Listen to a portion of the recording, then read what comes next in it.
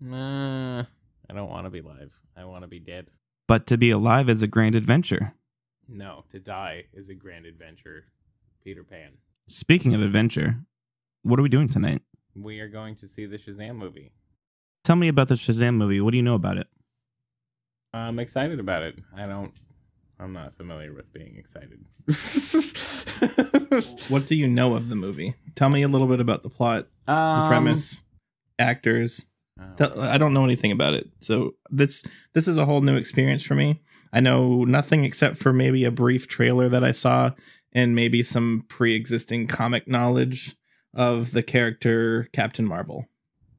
Okay, so the basic premise is that a kid is like lost in the foster system, but then becomes a superhero when a wizard grants him powers of gods. And uh becoming the superhero makes him grow up.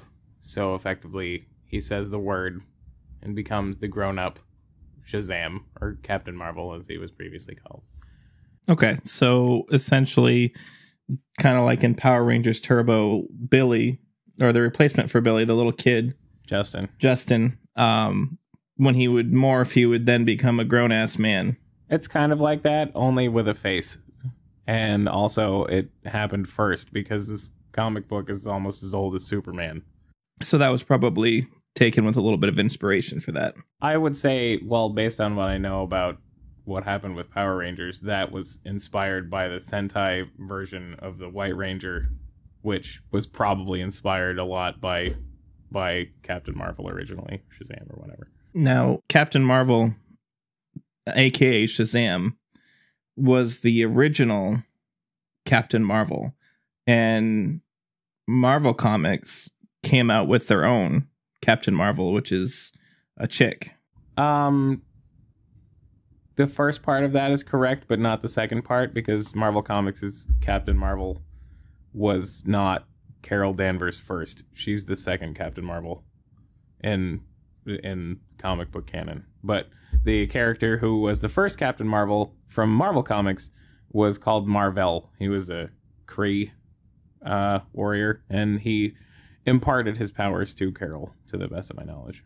Now, would you go as far as to say that the Marvel Captain Mar- Marvel is a kind of a retort or like a big middle finger to DC, who first gave forth the middle finger to Marvel by stealing their namesake? No, not at all. So, um, firstly, the Captain Marvel character was not a DC Comics property when it was created. It was just acquired later.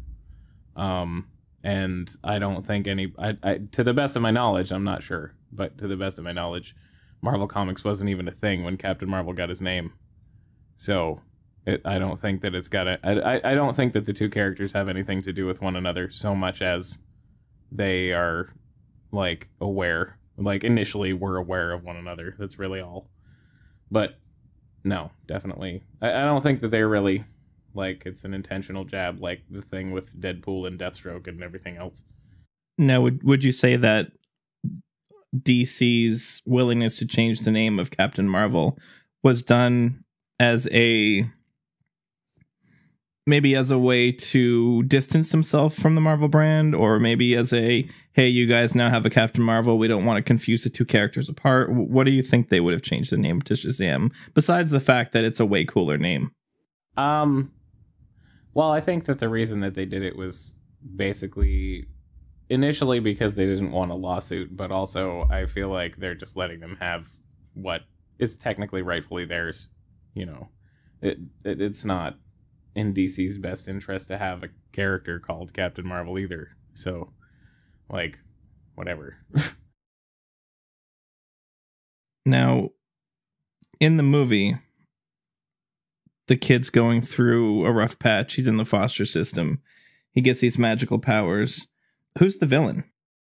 So, to the best of my knowledge, the villain for the movie is Doctor Sivana. I don't think you've I don't think you've ever heard of Doctor Sivana, but he is he's kind of like a secondary, tertiary villain in DC Comics right now. But like he's one of the main villains of um, Captain Marvel or Shazam. Uh, conventionally, he's like not someone with superpowers or anything like that. He's mostly just a person who like messes with people genetically and a whole bunch of other stuff. Who's trying to like get these powers that that Billy has and and everything else. But uh, So you'd say he's got powers kind of like Rogue from uh X-Men where he can steal powers. No, not exactly. No, I mean he's using science to do this stuff and and like trying to find the roots of of Billy's powers, Billy's magical powers through science, etc. So like, uh, he doesn't have any powers at all conventionally, but to the best of my knowledge, in the movie, he's going to have powers. Okay. So do you know who plays the main bad guy cuz at, at a glance from what little bit of imagery you actually see of him in the trailer, he kind of looks like that guy from Prison Break. Which guy? Um he plays Rory in Oh, uh, Dominic Purcell. No, it's not Dominic Purcell. Firstly, um, secondly, the I can't remember what the guy's name is who actually plays Doctor Sivana, but he is also the guy who played Sinestro in the awful Green Lantern movie. So he's he's done the DC villain thing before and a higher profile villain, but also I presume that movie was much worse than what we're gonna see. Well, uh, to play a little devil's advocate, and I'll probably get a lot of shade for saying it. The Green Lantern movie, aside from that god awful CGI spandex, it wasn't all as terrible as people made it out to be. I think it caught a lot of crap for the, the bad CG, but like Sinestro looked right. A lot of the Lantern characters looked right. Um, Ryan Reynolds was not the right pick for the actor for the to be Hal Jordan but I think that overall there was a lot of good that was in the movie that people just aren't willing to look at past the suit. So I agree with that. I think that the Green Lantern movie an, was an important step to what we have right now, but um, I, I just I, I think that if you take the movie out of context with the comics, then the movie was good, and if you take the comics out of context with the movie, then obviously those are good. But like you can't compare it to the source material without getting angry.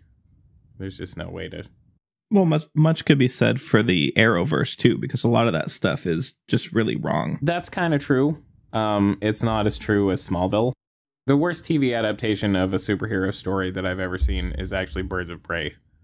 Um, That was really bad. really, really, really bad. but also, this is this this show was coming off the heels of of Smallville, and think like they saw Smallville's success and said, "Hey, this is a thing we can do." And then they did that, and then they were like, "I guess it's not really a thing we can do. We should probably be closer to comics." And then Smallville never learned anything from that. But the next time that they did an adaptation, which was Arrow, they did.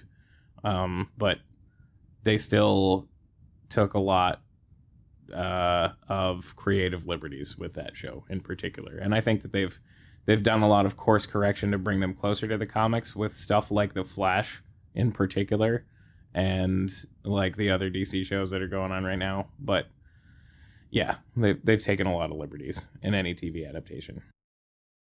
When I started, I didn't want anything to do with it because I knew it was far off base and I I didn't want to watch it because it wasn't Superman and I wasn't really super invested in Clark Kent. In every historic adaptation of Superman, Clark Kent is maybe 10% and Superman is the other 90%. So for me, I wanted to see a Superman story and what I got was basically a soap opera that had different characteristics of that world. And when I heard about it, I completely avoided it. But after I saw a couple episodes when they started actually incorporating more of his powers, um, I picked it up. I binged the whole series, and I think that it was good as a show. But like you said, if you look at it just for the comic end, you get upset.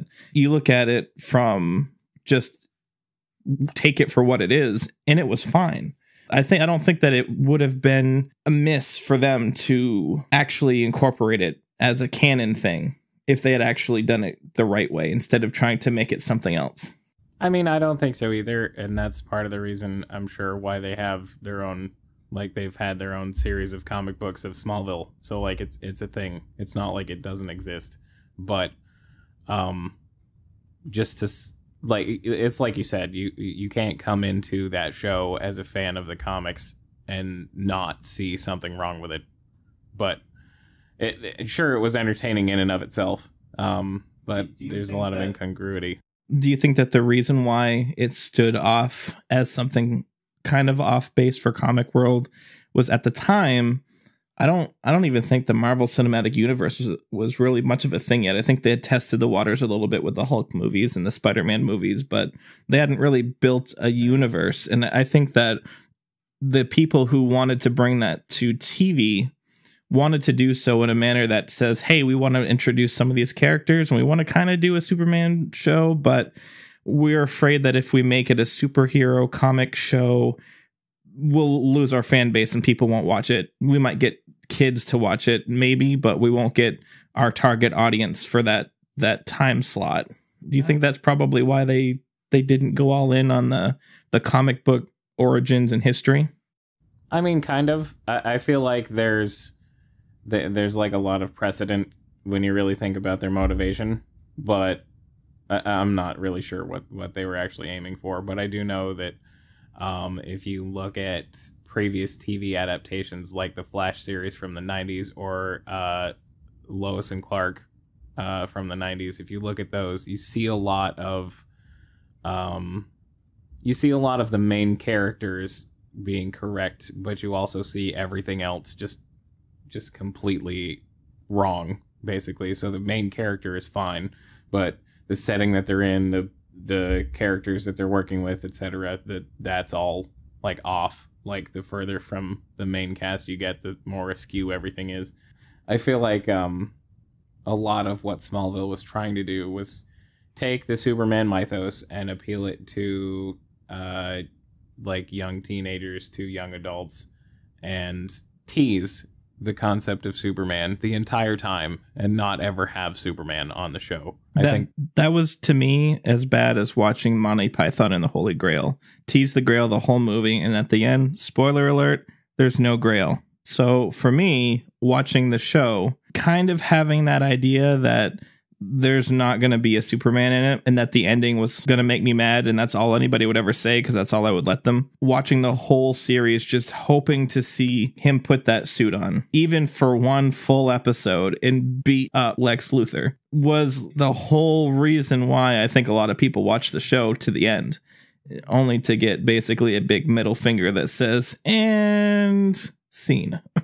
basically I, I think I think that there are a lot of wrong ways to do it, and I think that Smallville did it a wrong way, and I also think that Gotham is currently doing it a wrong way in that you have so firstly with Smallville, you had a show that was centered around a person who would eventually become Superman. You called it Smallville, so what that says to me is you should have stopped it before he became Superman.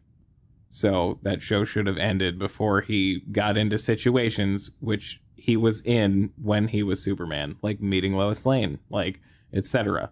All the stuff that he did in Metropolis, everything else. But with something like Gotham, you have a show that is actually centered around a character that's not the hero. It's supposed to be centered around Jim Gordon.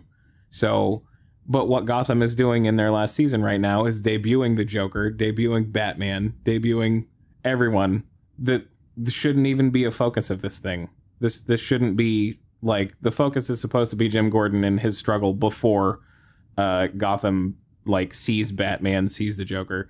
And I understand that they want these conflicts to like be integral to the story that's supposed to be upcoming, but the show's gonna end, so like who cares? Uh, firstly, and secondly, like what what's the point of of debuting these characters when they're not even supposed to be the focus of the show?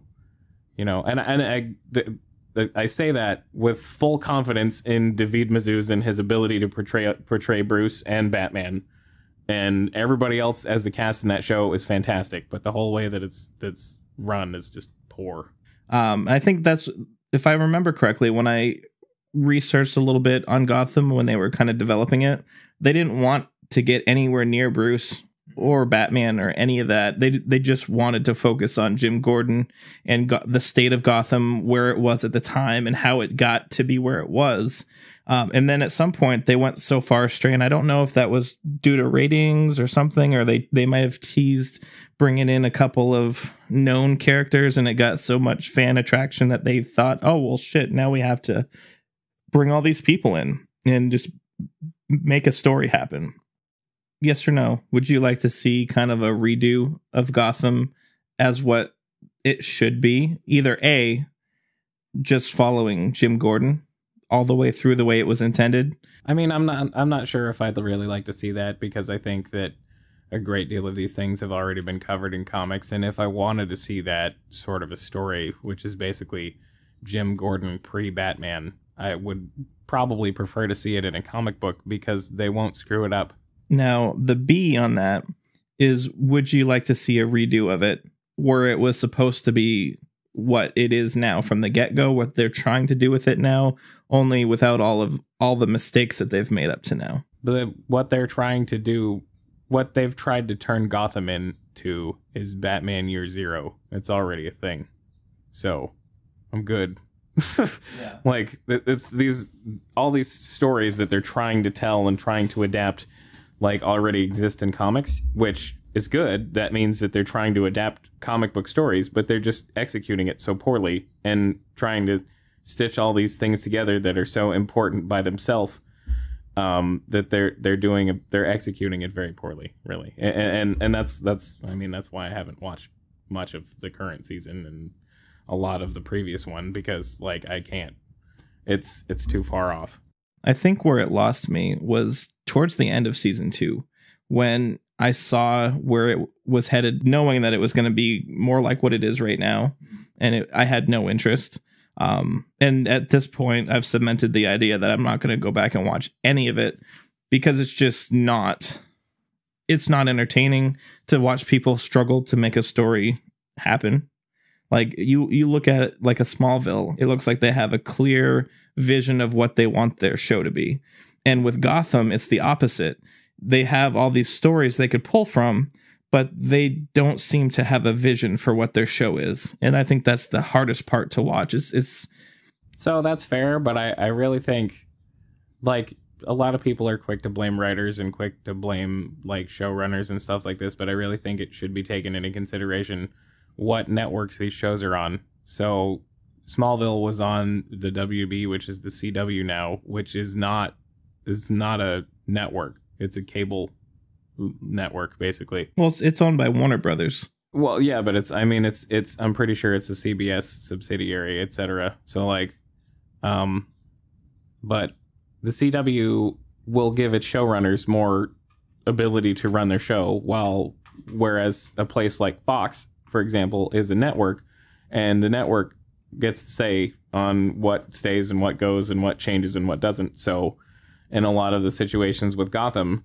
the network probably came to those people every single season and said, "We need more Batman. We need more Batman. We need more Batman," because that's what sells whatever they, they're trying to sell or whatever. So you think you, you would probably place the idea of, of blame for why this the show is so awful is on the network itself trying to meddle in the affairs of what could have been a pretty decent show. I mean, my my experience with like the world has led me to believe that when you look at something that's wrong, you need to look as far up the chain as possible and assume that the wrongness starts there and then disprove your way down the chain. So like I don't I don't have any proof or disproof about whether or not the networks do what I just said. So I'm going to assume that it's that way until I have disproven it. So it's it's just always easier for me to just assume that everybody's stupid. And and like none of this is malicious. It's like assume stupidity instead of maliciousness unless you have proof that it's malicious. Well, it, w- it would make sense to me looking at what's happened to Gotham since its pilot episode, which is amazing, by the way. Mhm. The pilot episode made me want to watch it. Oh, absolutely. and right straight through season one. So it, it looks to me like the creators and showrunners of Gotham filmed the pilot. The network said, Oh, this is great. We want to see that. Once it aired and was successful. And then they said, hey, do this instead. We we saw that Batman's awesome, so put Batman in it. Mm-hmm. And then they screwed it up because I'm pretty sure that Bruce showed up in season two. No, I mean the first episode was was Bruce Wayne's parents getting killed. Well, I no, I know that, but what I'm saying is when they actually started involving him more regularly Mm-hmm. was really starting season two. I mean, probably. I'm not exactly. I can't remember exactly what the story was, but I, I do know that, in my opinion, were were it my job to run the show, I wouldn't have had Bruce Wayne be there more than like maybe four times in a season total after season one, because the whole excursion with his parents dying bonded him to Jim Gordon and everything else, and that's that's what you need to cover there. But you also need to cover like where the hell is bruce what happened to bruce that's the kind of energy that it needs not this is what's happening with bruce Like, right. Yeah. Just give it a little bit of mystique and mystery because when you think about Batman, there's a lot of mystique and mystery. I mean, as you as a comic book reader, you're you see it. You you know what Bruce is. You know who Batman is. You know all of that. Mm-hmm. But you should be looking at that through the lens of the city of Gotham as what Jim Gordon does because to Jim Gordon, Batman's an enigma. Yes, he gets really acquainted with him in his older age, but he's still there's a lot about Bruce and Batman that Jim Gordon just doesn't even understand. Oh, and absolutely. I think that that would be a more compelling story. Yeah i honestly think with a story like gotham I, I don't think necessarily that a show like this should go on for much longer than it has. But I, I don't think that we should have touched on anything batman at all apart from like minor references from secondary characters that might have some idea of what's going on. But um, what you need to tell uh, as a story in this sort of situation is you need to look at Gotham from Jim Gordon's perspective, and you need to see a dismal downward spiral with only like like moderate moments of small hopeful victories that that are actually like culminations of stories that are like oh it looks like maybe jim can actually turn this around oh no well it turns out the court of owls has been here the whole time or some i don't know some shit like that Well, that's that's what has always been compelling about the comics is Jim's character is a realist. He sees what it is, but he's also a hopeful realist. He thinks that if given enough good people that they could f- turn that city around. yeah Batman in that city was a means to an end. Mm-hmm. It was, well, maybe Batman can get rid of the super bad so that maybe we can take care of the lesser evils and then maybe we can have our city back. That ending never comes. Well, no, it, but that's because they keep the stories too intertwined. Like they keep talking about what's happening with Bruce, and they keep they keep him as this relatable character. And you need to, from the perspective of a Jim Gordon, uh, and the perspective that Gotham should be shot from, you need to make Batman this this mythical legend of a thing that comes in and solves all your problems. So, like, what I would have done, like I said, is make this dismal downward spiral of a story of like what was happening in Gotham all the way up until Batman showed up, and then at the very end, you have Jim Gordon. Like, I don't know how this it, things have gotten so out of control and so bad. I don't know how we could possibly turn this around. And then the very end of the series is Batman on a ledge, like this is how we turn it around, and that's the whole thing. That's it. There, it cuts off right there. There's no more Gotham. That's how the show ends. So, so basically, what you're saying is end it like they ended Smallville. Yeah, this is the kind of thing that should be ended like like Smallville ended, be, and and like it, they should have been even more distant from Bruce. Like I said, I don't think that he should have shown up any more than like four times tops per season. Like you can still have people around like Alfred Pennyworth because he's still a very worthwhile character, and like. Uh, you know, it, when Bruce was actually training to be Batman, he wasn't with Alfred, so it's not like that would be like dis- inaccurate to canon or anything. So like you could still use all those characters. You can still use all these characters that are in in the city, but like you don't have to be so heavy-handed about the Batman because it's not the show's not about Batman. See, that's that's where whereas with Smallville, the show was about Superman. So do it. Well, You know? it- I mean, it was about Clark. Yeah, so e- either either you need to make it about Superman at some point or you need to stop it. I agree. I agree. Now, in Gotham, Alfred Pennyworth, total badass. Mm-hmm. In movies, Alfred had a lot of witty one-liners, which made him legend. Mm-hmm. But in this incarnation of Gotham, Alfred was like Alfred could have been Batman. that's that's how epic he seemed from what little bit of interaction I got to see of him before I stopped watching. I mean, I don't know if you know much about the history of Alfred Pennyworth, but he's he's a certified badass in his own right. He's always been that. So that's that's mostly just something that Gotham got right that a lot of the adaptations just haven't even touched on. Because Alfred was an SIS agent before he was, uh, you know, before he raised Bruce, basically. So like, it, yeah, a lot of the comics have touched on that, but uh, none of the movies really have gone there. Well, the the the actor in the movies, I, I don't remember his name, was And, I was great. Depends on which movies you're talking about. the Tim Burton movies, which that, that actor carried through all of the sequels up until the the uh, Christopher Nolan verse. Yeah, but no, he was funny, but that's all he needed to be. I mean, they're doing a another prequel series called Pennyworth that's about Alfred when he was younger. That So, that would be neat to watch. maybe, but I think that they're gonna do the same heavy-handed bullshit that they've done with Gotham and try to like shoehorn in Batman stuff when they don't really need to. Well, they'll probably shoehorn in the League of Assassins, or what what is it actually called? It's either the League of Assassins or the League of Shadows. Depends on like what iteration you're talking about. But they're probably gonna do a whole lot of Court of Owls stuff and a whole lot of Ra's al Ghul stuff because Ra's has been alive for God only knows how long. And like they're they're gonna shoehorn in a bunch of Batman stuff that that they don't need to. Well, it'd be neat to see how it develops. Now, Smallville. Do you would you consider that a prequel to Lois and Clark Superman from the '90s, or totally different? It's totally different. These uh, every every single show that you you see that or show or movie that you see in which there are a different set of actors, you have to treat as a different canon, and that includes even the original Richard Donner Superman movies versus Superman Returns. Like those are intended to be the same universe, but they're a different set of actors, but they're all wrong. Like it's it's it's wrong. you know, it, it, you can't you can't walk into a situation with a different set of people and assume that it's the same place. That's true. And not only that, but the way that they handled the Return of Superman, the way that it's shot, the characters involved in it, everybody everything like you said is different, but also the way that it is made is different. It's not even in the same league as far as what they used to do with Superman. Mm-hmm. It's not not even close.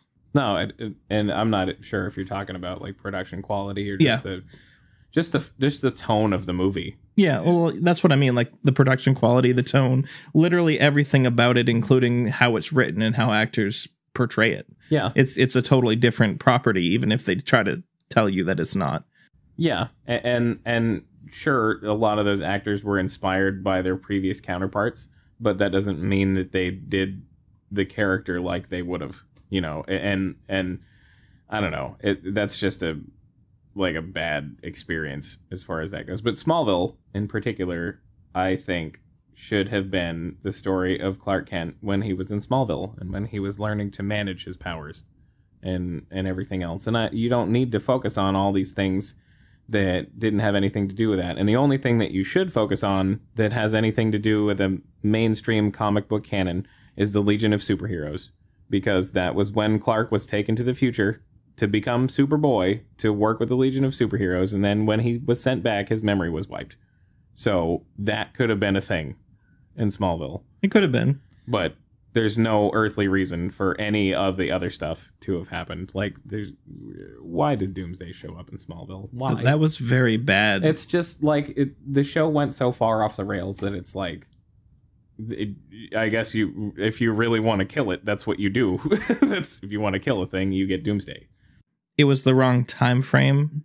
It was the wrong origin story. I mean, like the whole the whole everything thing was, bad. The whole thing was wrong. Uh, but that's the, see, there's a lot of really like shining examples of good stuff that that Smallville did, like their portrayal of Booster Gold.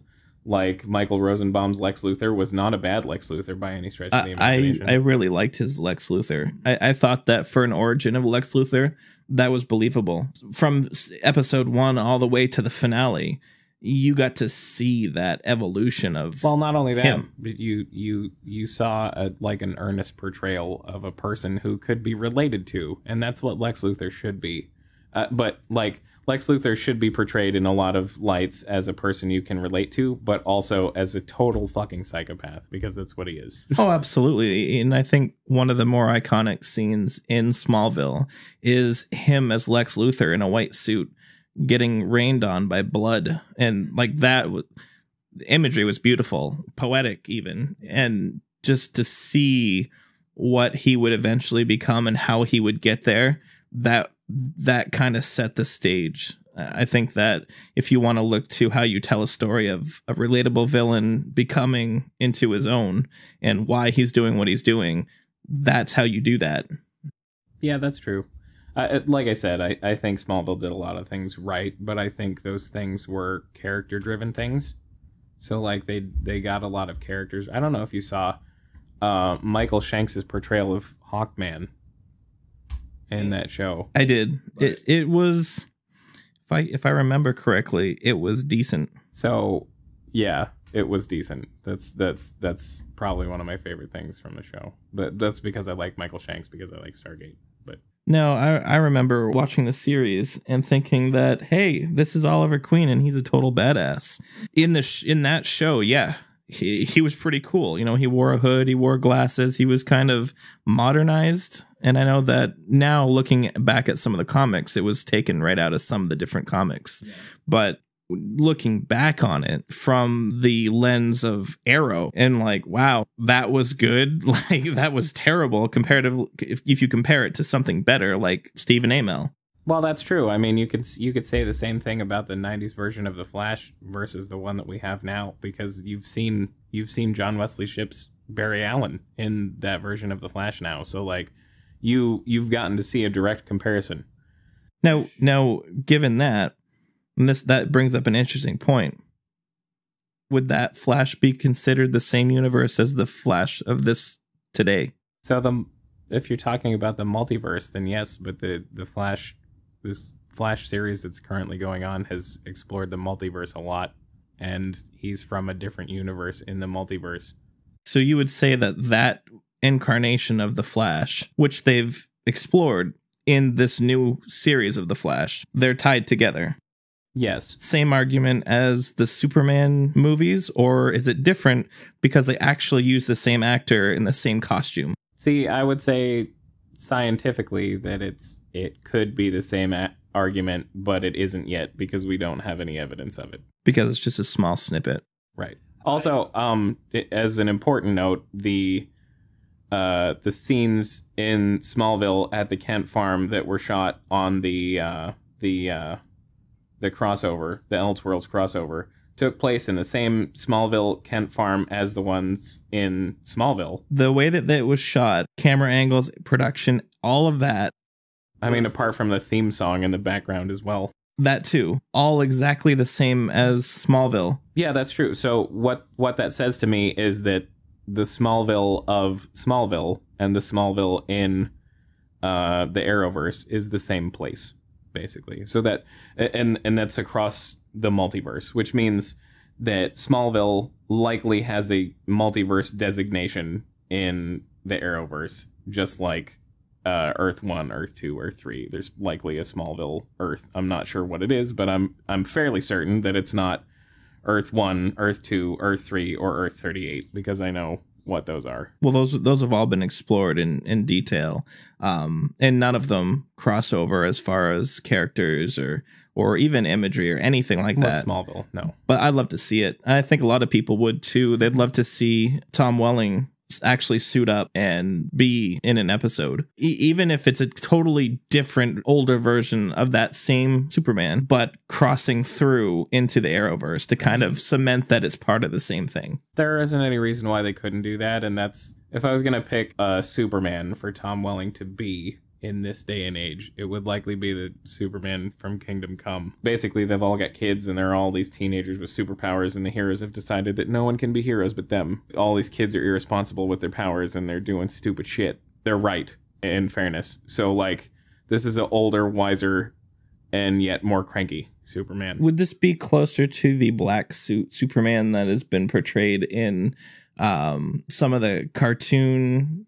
shows where No, no, no, no. Black suit Superman is wearing a black suit either because he's coming back from the dead or because of some other close to death Kryptonian experience, basically. See, see the one I think the one I'm talking about. And I think you've seen it, and I don't remember where it was from, but he was black suit Superman, and he was basically in charge of all the police. I don't know if it was in in the entire world, but definitely in Metropolis. And he, to him, any superheroes were outlawed. Anybody but himself, because he didn't believe that anybody could be trusted. And he was a much older Superman. He had you could see his gray hairs and everything. Um, maybe I'm thinking of the Superman from uh, Batman Beyond, possibly. I think you are. Yeah, Yeah. And I think that would be kind of neat to see for Tom Welling. Some, something closer to that. Maybe, but well, this is what I'm talking about. So that's that's the Superman from the cover of the Kingdom Come arc. That that's pretty awesome. Yeah. Uh, basically, there's a lot of this angst about Well, he's probably seen a lot of his loved ones be murdered. Well, not just that, but just the world that they live in is worse. Based on the way that the, the storyline unfolded in Smallville, I think that that's where that character would end up, and sooner than this Cal did. Oh, absolutely. So, like, that's that's kind of why I'd like to see Tom Welling in a role like that. If I'm going to see him play a Superman, it would make more sense to me for him to be the Kingdom Come type of Superman. At first, I didn't like the idea of anybody portraying Superman in this universe except for Tom Welling. So I didn't want to give the new guy a chance. But after seeing the crossover that just happened where he was in it, I actually got a chance to give him a shot. And I think that he did, he does a really good job. He doesn't quite look a hundred percent like it's the same argument, only on the opposite foot as we have for um, Hugh Jackman for playing Wolverine. He's too tall, but in this argument, Superman's too small. Like Superman's supposed to be a statuesque giant. That's just how he's always been portrayed, and I think that that's the best way to show him being a Superman is to make him larger than life and to show in the Arrowverse. Now, this guy looks like he has the appearance of what a Superman would be. He's just really small and he's not larger than life. So it, it, it takes a little bit more to believe it. But once you give him a chance, you start to not notice how small he is in comparison. That's true. I kind of had the same interpretation, especially when I saw Tyler Hoechlin standing alongside Mehcad Brooks, who plays Jimmy Olsen or James Olsen, and James is taller by a lot. I was like, well, that ain't right. Eh, especially since James calls him the big guy and all this other stuff like that. What I get from the interpretation of what I've seen from the Superman that Tyler Hoechlin plays is that when he comes up on scenes, he's not on the ground. So you're always looking up. And that's a psychological thing. He's still the big guy if you have to look up. Kind of like how Tony Stark's always, you know, Yeah, hovering. If I was a shorter guy, but I was Kryptonian, that's what I would do. Just be like, I'm still bigger than you. but I mean, that's just my interpretation of it. I don't. I, I haven't really seen any evidence of that, but that's what I would do. if you have if you have active knowledge that Superman could fly in from anywhere and just knock any of these bad guys out with a single like flick of his finger, it, invalidates the reason or need for any other character. So to the fact that they're using him sparingly for these shows is good, but would you want to see a standalone Superman show with just that guy? I, I don't think that it's necessary, and that's no like discredit to Tyler Hoechlin as Superman or anybody else in that whole vein of of characters. But like, I don't think that it's necessary. I think that all this the Superman stories that need to be told in that whole universe, multiverse, are being told on Supergirl, and his absence is being excused properly.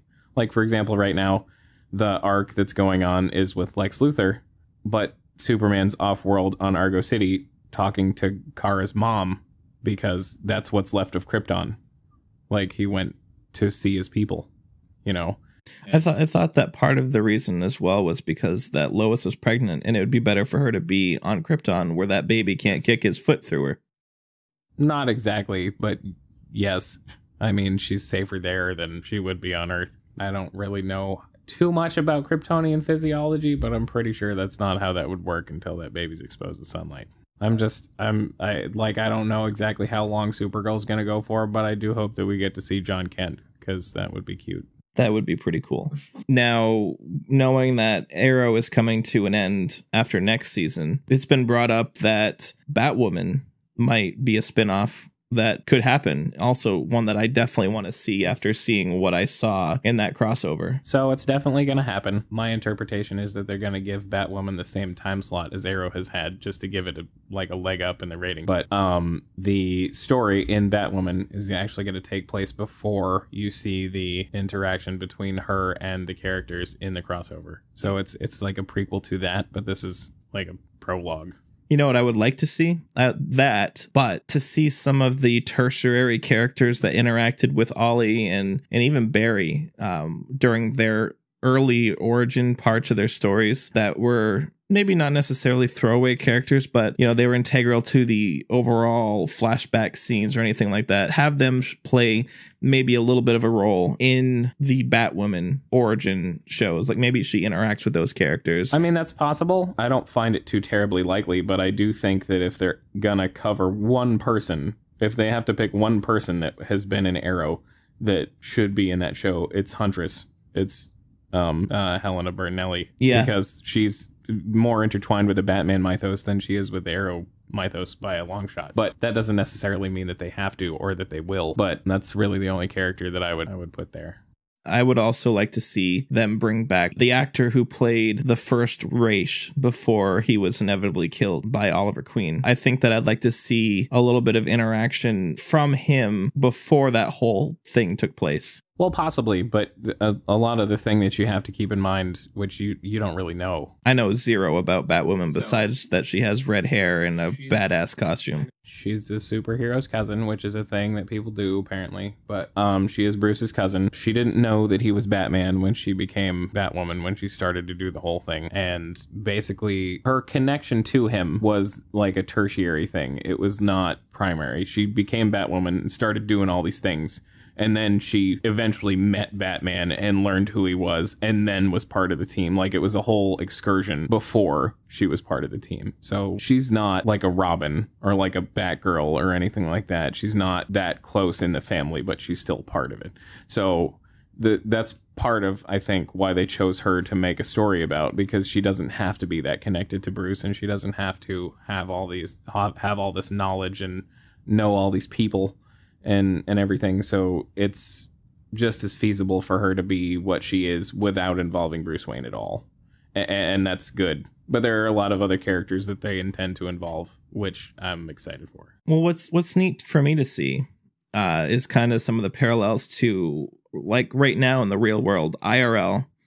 There's a big push on the women's movement, like more women doing more things that men have traditionally done. So, like 10 years ago, we wouldn't necessarily have thought that, oh, let's make a female superhero TV show because it sells. We would we're doing it now because more women are empowered to do things like that. But with that, we're finding some outstanding talent that knows what they're doing, is intertwined with like they actually have a, a common interest in this source material and they're talented enough to bring these characters to life in such a way that a it's believable and b it's good you want to see it. Watching and i don't remember her name uh, but when she played batwoman on the arrowverse ruby rose. she yeah. was amazing. Like yeah. it you you watched that and you said i gotta see more. Like where's more of this? It's it's like you find your new favorite food and you just can't get enough of it and then you find out there's no more left anywhere. It's limited time. And the idea that that could come back, that's really exciting to me. And I think that the reason why they're looking at stuff like that now isn't just because she's a great talent, because we could have had great talent before, but they wouldn't have given her a chance. But now with the whole women's movement, I think they're looking more for diverse TV shows that say, hey, you know, girls can do this too, and they can do it sometimes even better. I think that she makes a more convincing character than anybody that has been on Arrowverse. I, I I just think that Ruby Rose is a fantastic actress, Uh, but I, I think that part of the reason why she portrays the character very well is because not only does she know the character, but I, I think that that's secondary to the fact that she has been looking for a character in media her whole life to portray like a person like she is. Like she wants she she's been looking for a role model in media her whole life and now she gets the chance to be that for other people. And through playing Kate Kane the character which like that's she's said that it's basically an honor for her to do that and it's exciting for her to be able to do that and I think that that shows in in her portrayal and I've seen her play other stuff in other things and she's never been bad the first time I ever saw her do anything was in Orange is the New Black as one of the new inmates. And I think that she fit in, but she stood out a little bit. And I think that the reason why she stood out was the fact that she, head and shoulders, was a better actor or actress than most of those other people that were there. And I would say that that's relatively true, except for uh, Kate Mulgrew, who played Red. Oh God, she was great. She's an amazing actress too. But like, no, no offense to anybody who's actually on that show because they're all amazing actresses. And actually, Diana Garcia is in Doom Patrol playing Crazy Jane now, so that's a thing. But uh, yeah, so there's there's a lot of potential there. I think. I, I I'm just looking forward to see where the Arrowverse goes when it's no longer Arrow and what they would call it. I I think that they should still call it the Arrowverse. I don't see any reason why they wouldn't.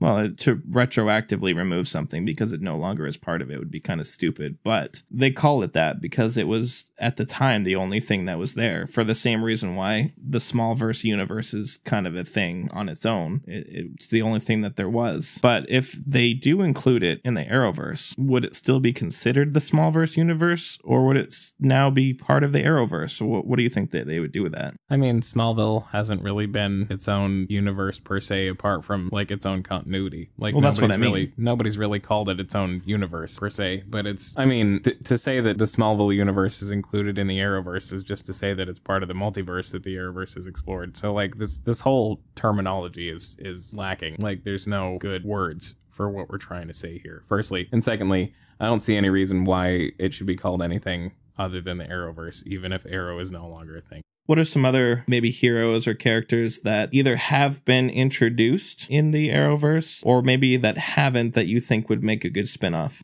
honestly there's there's not a lot of of stuff that they could do now based on what they've done. So i know that they're going to cover lucas fox is going to be in batwoman. He's batwing. He's the second batwing in comics but he's still Lu- lucius fox's son. So that's the thing That sounds kind of neat. I, I don't know anything about some of these. Um, I would probably rate them more like a C or D level character that I'm just well maybe but they're so far away from the Trinity. It's hard to count them when you think of characters for the universe. Usually, Yeah, but see, this the real the real thing that you need to think about here is that they're more recently created. Lucas Fox's Batwing is a more recent creation that was created around the same time that Batman died and came back to life because Darkseid blasted him with his beams and then he had to travel back forward through time to become a thing again and then Batman Incorporated was the thing and then Lucas Fox became Batwing. So like that's a more recent thing. Um not sure exactly where the history of Batman versus the history of the Arrowverse lies, but I'm pretty sure like the Arrowverse stuff takes place pretty late in the history of Batman. So that's that's how that's going to go. But if that's the case, then that means you have the potential to see how many Robins? Uh, I don't know. You have the potential to see Batgirl. You're obviously going to see Batwoman, but you have the potential to see all the tertiary characters from Detective Comics. You have the potential of seeing the the gang of Robins that eventually the leader of which became the Signal. Um, his name is Duke. He was like in a cartoon as a Robin much later in his life, and then he got adapted into that story in comics and became uh, the character known as Signal. So like it, there, there's a lot of potential that they could do with that stuff. And you think you think that they would be great ad- adaptations either for the Arrowverse or for kind of like the same idea of what they're doing with uh, Titans. Wh- Which which of those two uh, style of I guess incarnations would you prefer to see some of these I, spin-offs? I honestly, so I have sentimentality toward the Arrowverse, but I honestly prefer the interpretation that the whole DC universe like spin has given stuff. I really prefer the way that Titans goes. I really prefer the way that Doom Patrol goes. Well, it kind of feels to me like as its own standalone thing, completely and totally owned and operated by DC. A, it gives it a more authentic feel because they're actually using the yes, they're they're using creative liberties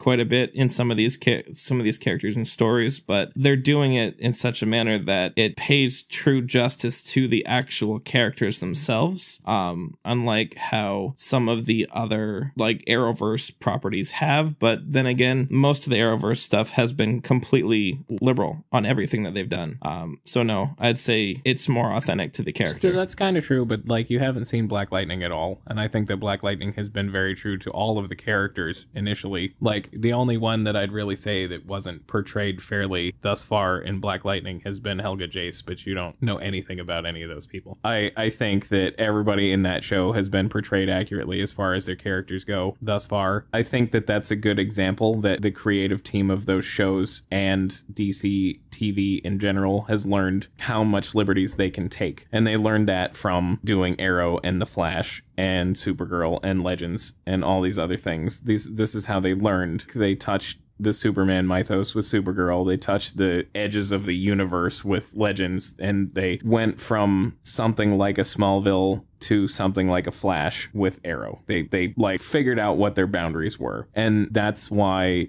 Titans is good, why Doom Patrol is good, why Black Lightning is good as far as the character driven stuff too. Well, I like I like Titans because it's dark and gritty, and I don't know necessarily that it's just because it's dark and gritty, and it, it's allowed to go places that you know regular television can't due to censors and and all of that stuff that you can't do on TV. It's like there's some adult themes Oh, that's very true. in but Titans. I, I think I think that the majority of why Titans is so dark and gritty is because of the characters that are actually used in the show.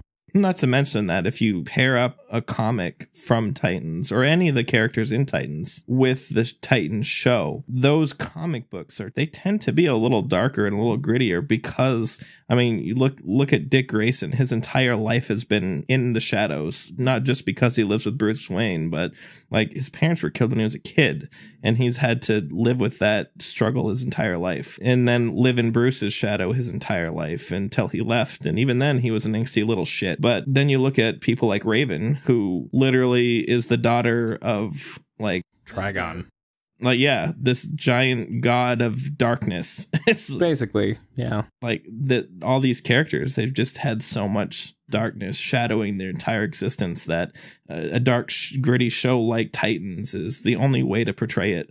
And the fact that they're able to go places that you couldn't on the cw or any other channel on tv i, I think that's the appropriate place for a show like that. I, I do too, but but I also think that like that sort of a universe is also capable of lightheartedness and fun and and etc. And you see that in Doom Patrol, and and you see a lot of uh you, you do see a lot of the depth and darkness as well because there's a lot of like angsty shit about all the characters in Doom Patrol, but you see a lot more of the funny side because of the juxtaposition of all these things. do you foresee them taking um the arrowverse and adapting it to that type of I don't want to say light, but that mold that they're generating with their new network. Would you would you think that they would take those shows, put them on that network, and then make them basically have less limitations on what kinds of stories they can tell and how they're told, um, based on no longer being on network television anymore? I, I wouldn't say so. I'd say if they're going to do anything like that, they're probably just going to let those shows run their natural course. And then once they have done so, they might cover those characters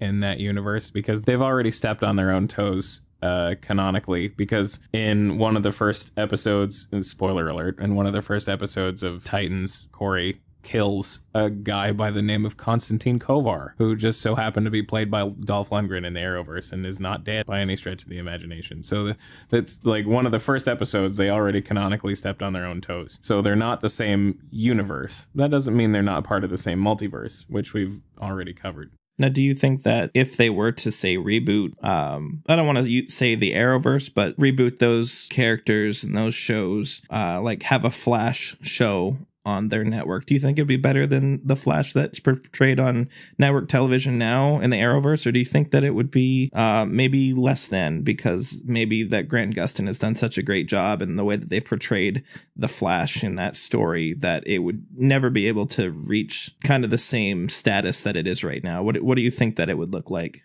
I, I don't think it would be less than by any stretch of the imagination. I think it would be different than. I, that's that's really all I can say because I know that, that the Flash, for example, has been really good. But I honestly think if if the if the guys at DC Universe are going to do anything with any of that property, it's not going to be in the same orientation as they've done it on the Arrowverse. So like you have your shows that are focused on the Green Arrow, the Flash, and Supergirl. You have Legends of Tomorrow, which is basically tertiary people doing time travel fun. Honestly, And- I think that Legends exists because they had so many compelling characters that they wanted to do something with them, so they they made Legends out of their ass. Well, not only that, but I think that Legends has been a terrific vehicle for the character of Sarah Lance because she deserves her own deal. Well, that's what I mean. Like those uh, And characters. That, they, that character they made specifically out of the ether for Arrow, and she became this thing that was larger than life, and the captain of the Wave Rider, and all this other fun that Sarah's had, a- and, like she's she's the main reason that that show exists. But also they have all these characters, and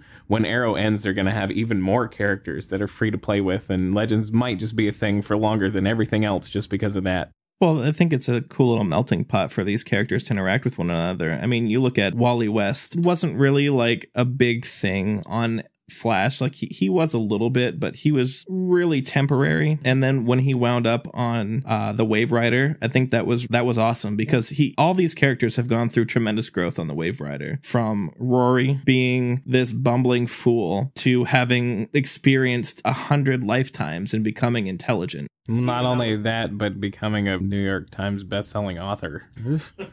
but right? But i mean the the idea behind the fact that this character is intelligent chooses to still be an idiot but is really smart. You just see so many different sides of these characters and then leonard snart become basically becoming the ultimate hero. Yeah, but Leonard Snart was he became what he his potential was because in in the comics ever he's very much like Lex Luthor in that if he didn't have a superhero to oppose, he would be one. right Like there's no reason for him not to be except for this one guy who does it way better. And I mean, he, he's a fantastic actor anyway, Mhm, but just Miller. just the idea that he got a chance to be explored more than just this intelligent criminal that showed up and blasted people with a cold gun. Like you got to see an infinite level of depth to his actual character, and I'm glad that they brought him back in um, a multiverse fashion, so you can still kind of see um, different sides of other versions of that character. Partly what I'm talking about because they brought him back as Citizen Cold, and that's who the hero of Captain Cold was, the hero version, and it's that same thing. So, all, all- like, all these characters have been worth their own spin-off but I, I the l- amount of stories that they have to tell is not there No, the, the amount of stories that they have to tell are finite, and I think that the only way that they can really fix that is by going backwards, which is what they're doing with Batwoman, and that's that's why I think that that's okay. And anything that they might cover with that stuff is probably going to be okay, but I don't think I, I, I think that largely the universe that they have created, um, or the multiverse that they have created with Arrow and all its spin-off shows is is finite, and I think it's it's nearing its end. Closer, we're closer to the end of it than we are to the beginning at this point. In, some fashion it's kind of sad to think about but in another fashion it's exciting because that frees those character properties up for that new network that they've made. Seeing what they've done with titans with one season to see that i could get really excited about a, a cliffhanger on a property that i thought there was nothing left to give it's so exciting to see that this is what the potential for other stories could be mm-hmm. if told through that lens on that network. Seeing even if they took a wally west and did a, a flash series on that network based on a wally based on what I've seen in that in the universe that they've created for Titans, they could do the Wally West series that happened most recently in DC Rebirth, where Wally West was the other Wally West that came back from being dead in the time stream, and like all this, they could do a whole bunch of fun stuff with that property because they have all the characters and stories at their disposal. They don't have anything that's limiting them, which is proven by the fact that they're using uh, Vic, um, Cyborg in Doom Patrol, and he's been in the friggin' Justice League movie very recently. So like. did they use the same actor No, no, not at all. And that- that's not. He doesn't even have the same backstory. It's. I mean, it's. It's still close enough to canon, but it's Do you think that they'll move him over to Titans? no. I, I- well, uh, not soon. They might, but uh, his time in Doom Patrol is necessary right now. But I, I don't really know what they're going to do with that series either because they've explored a lot of the universe that I didn't expect them to. Like I've seen some fun stuff. I'll have to watch Doom Patrol. I know zero things about it, but from as high as you talk about it and knowing what I know about the Titans show, if it's kind of the same same style but maybe d- told a different way, that's probably So something I would it's, watch. It's very much the same style, except basically assume that it takes place in a mental facility. okay. because you have your they're they're the show is chock full of crazy people and they're crazy for reasons. They have good reasons for being crazy not the least of which is crazy jane because she's how many personalities? I don't know. 42 personalities i think in one body and every one of them has a superpower. That's just crazy jane. That's just crazy enough. no it's far too crazy. But anyway um she's being portrayed by diana guerrero who played maritza in orange is the new black. So yeah she's it's she's doing a really good job. Everybody in that show is doing a really good job. It's exciting to see brendan fraser doing a thing again. Oh my god, he hasn't done He's Robot Man. ever. He's fantastic. Like the whole show's fantastic. I mean, I, I have no complaints thus far. Eh, eh, but the thing about Doom Patrol is it's such an obscure story that they can't fuck it up. Like they can they can tell it just as it needs to be, and it's still new to people. It's still like fresh, and and the way that the like interpretation that they have of it isn't necessarily canonical, but it's you can tell that it's paying tribute to its roots. And that's that's really all that needs to happen for anybody to appreciate it, I think. And not just this. I mean like any of those properties being able to say, "Hey, this may not be canon of this character, but this pays homage to them and does enough justice to them that you can say that they did a good X character story." You know, it, it's something that a, a comic book person could appreciate and not get all ups, uptight about it like some people do about Smallville or about Gotham or even about the Arrowverse because there's plenty about the Arrowverse that is wrong. But the it's done in such a way that it respects the characters to the point where it's still about that character and not a made up character that shares its name. And I think that what they've learned is that the stories need to be character driven. And when the story is not canonical, but it's still character driven, people have more respect for it than if it's not canonical and there's no reason for it. So, like, if they're going to break canon, they need to have a character driven reason for it. Basically, I don't know. It's it, uh, but it's it's good to see that they've learned something. Really, Well, I mean, with with any with any adaptation, you have to learn before you get it right. I mean, how many times did they make a Hulk movie before they got the actor right for crying out loud? I mean, two, and they still haven't made one with the right actor. I really would line up first in line to see a Hulk movie about any part of his story with the new actor. I, I if I was gonna see a Hulk movie, I would want to see something that explores both Mark Ruffalo as the Hulk, but also um, Thunderbolt Ross as the Red Hulk. Oh yeah, Um, I'd Planet even, Hulk. I'd even like to see mm, maybe not Planet Planet Hulk because Planet Hulk would be a little much, but I would like to see Betty Ross as as her Red Hulk too. Like I'd like to see the whole the whole Hulk family really just If you ask me, Thor Ragnarok was just as much a Hulk movie as it was a Thor movie. that's true. Because up until the point that you see the Hulk, which was half an hour at most, I don't even think it was that long. maybe like 15 minutes, he's in the movie from start to finish at that point. So from that point till the end, it's a Hulk movie too.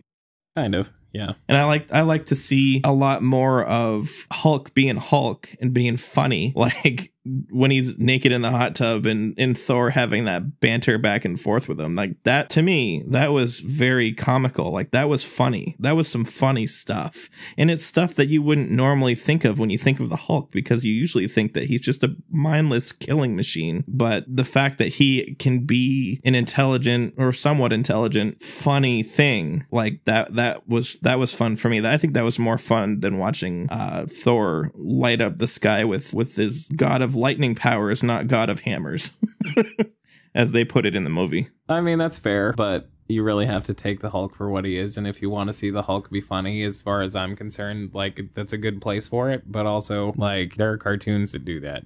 So Well, if that's what you want to see, then go. I understand watch that, but what I'm saying is, I wanted. I- I just thought it was neat to see depth in the Marvel Cinematic Universe for the Hulk, and I don't mean like, oh, I want to see another origin story because I think that that's played out. We've seen enough of the origin of the Hulk. I want to see more stories where it features the Hulk, so I get to see new levels of the Hulk that I haven't seen before, such as the funnier side of Hulk, or the fact that Hulk is more like a jock in a locker room. You know that that's a new level that I didn't know existed, and to have the opportunity to see other varying levels of what he could portray the Hulk to be. That's that's what I would like to see in a new Hulk movie. That's fair. I honestly think, and and um, we've talked about this before, and I don't think you and I, but um, I, I think that if you really wanted to explore the Hulk story and do it relatively right, you need to come at it from the perspective of, of a different character in, in that whole Hulk family, like I was talking about. And I, I think that the best character to come at that from would be She Hulk. So like you come at it through the lens of of her coming into this whole universe and you get to see, oh my god, Bruce Banner's the Hulk, and then all this other crap that he has to go through. And it probably could take place sometime around after Bruce got back to Earth from being where he was. And like you see Jen go through this transformation of becoming She Hulk and then all this mess with Thunderbolt Ross trying to figure out how to get Banner in jail and all this other stuff and then they, they could evolve into a series of things. But um regardless like that's that's probably not going to happen because marvel doesn't really have super have the rights to all the hulk stuff. So i'm not sure exactly how much freedom they have with it. But we have gotten significantly off the rails from what the initial question was Well, that's fine because I mean the the purpose of our little talks is mostly we start with an idea and we explore related topics as well. So we don't really have a lot to cover on the idea that we're going to go see a movie, which happens to be Shazam for anyone who's just tuning in. But the fact that there's more to talk about than just the trailer that we know of of Shazam until we see it. You know, this kind of gets us warmed up for the main event. mm-hmm no, that's fair. Um, well, the only reason that I mentioned that we're going off topic is because I don't know how long we've been recording. Probably been a while. It's it's almost an hour and 20 minutes. Mm, that's too much. well, good talks are good talks. And the fact that we have this plus more to discuss means that there's going to be more recordings that include this topic. And if you guys want to hear more, let us know because that's how we can continue to entertain you and give you our perspective on said topics that interest you and not just our mindless rambling about different things that we believe in or feel about different topics that you may have been interested in enough to click on this video. So let us know in the comment section what you think of our perspective or maybe share your own. And if it's something that you agree with, let us know. If it's something you disagree with, let us know as well. Because I don't know about you, but I get upset when people have an inaccurate representation of the things that I care about. So if I've irritated you, make sure to let me know. And if uh, he's irritated you like he irritates me, um, let me know too so that I can point it out to him later. Please let me know if I have irritated you so that I can revel in it.